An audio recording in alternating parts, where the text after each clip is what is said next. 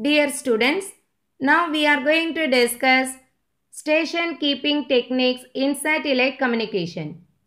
In satellite communication, it is very important to keep the geostationary satellite in its correct orbital path.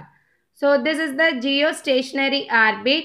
So here we have to keep the geostationary orbit in its correct path because due to the orbital perturbations, the geostationary satellite may drift slowly along the orbit. Okay, so it changes its position. So here orbital perturbations means equatorial ellipticity of the earth. Here the equatorial plane is not a perfect circular. It is having some ellipticity.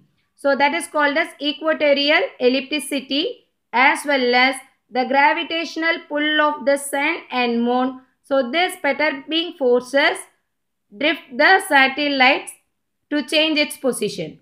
So we need to avoid to change its position by using some techniques that is called as station keeping.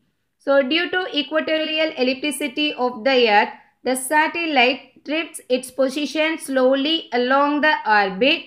It can be deviated to either 75 degree east or 105 degree west. Okay, so these two stable points are known as satellite graveyards. So at these two points, the satellites are not working in a proper condition.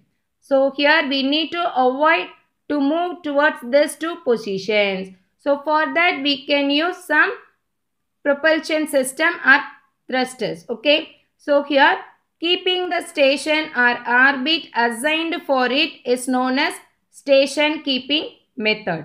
So it is the orbital control process uh, required to maintain a stationary orbit using satellite thrusters. It can be a jets. Okay. So here we are using thrusters or jets to avoid the drift due to the orbital perturbations. Do you all understand this concept? Station keeping methods are mainly used to compensate the effects due to the orbital perturbations.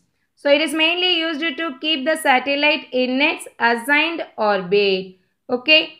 There are two types of station keeping maneuvers used in satellite communication. So maneuvers means it is a system which uses propulsion to change the orbital path. Okay. So there are two types. One is east-west station keeping maneuver. Next one is north-south station keeping maneuver. So here east-west station keeping, it deals with longitude. Okay. So here this north and south, it deals with the latitude. Okay. The first one is east-west station keeping maneuvers. Due to the equatorial ellipticity of the earth, the satellite drifts slowly along the orbit in east or west direction. So here an oppositely directed velocity component like propulsion, thrusters or jets can be used to oppose the drift in the opposite direction. So these jets are pulsed once every two or three weeks to drift back the satellite to its original position. So here the satellite Uh, remains its original position until the jets are pulsed again. Okay. So these maneuvers are called as east-west station keeping maneuvers. So here the drift is done only for longitude. So here we can have some longitude tolerance limits.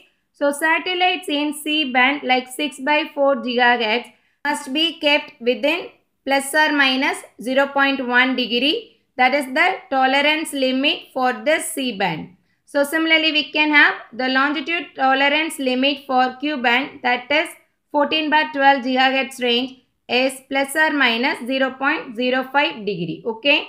So next north-south station keeping maneuvers.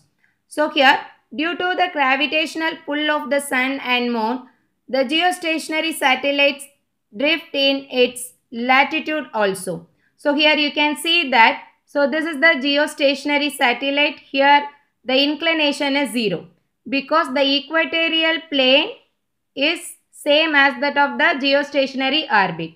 So here the inclination is equal to 0.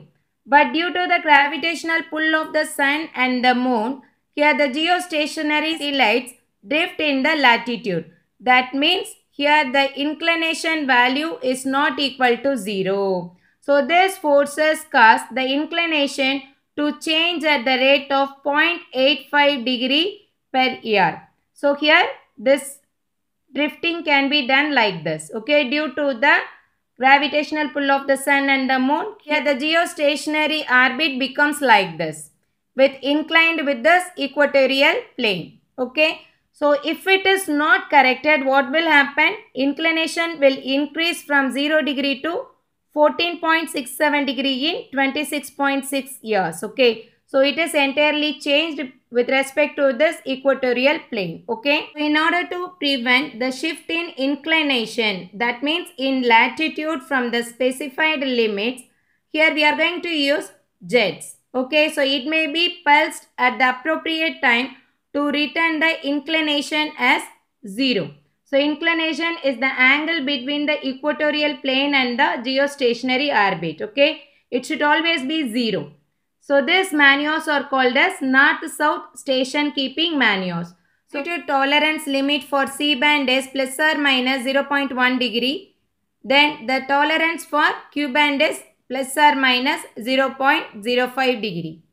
So the north-south maneuvers are much more expensive in fuel. Okay, to keep the orbit as same as that of equatorial plane. So here very important concept is the inclination angle is always 0 degree. Okay.